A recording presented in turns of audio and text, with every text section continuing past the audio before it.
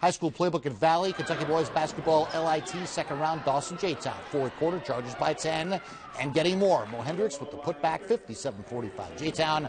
Doss tried to keep up and close the gap. Tyler Jefferson with a rebound and putback, but the Dragons could not close enough ground. J-Town won it 68-61. The Chargers take a 10-6 record to a Friday quarterfinal against Ballard or DeSales.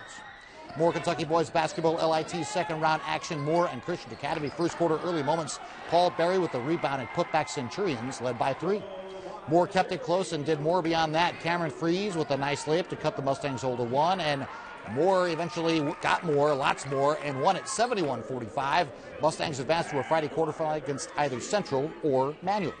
And Kentucky girls basketball tonight, eighth uh, ranked Sacred Heart hosted Notre Dame. The Valkyries off to their best start in nine years since their last state title. Pick it up early in the first quarter when defense created offense on the break to Barry Long for the score to tie it up. End of the first quarter, Valkyries by two. When Ashley Johnson bombed Mercy up 15 to 10. There's a three. That was after a frame, but Mercy lost the final 58 54. Its record this season drops to 15 and 13.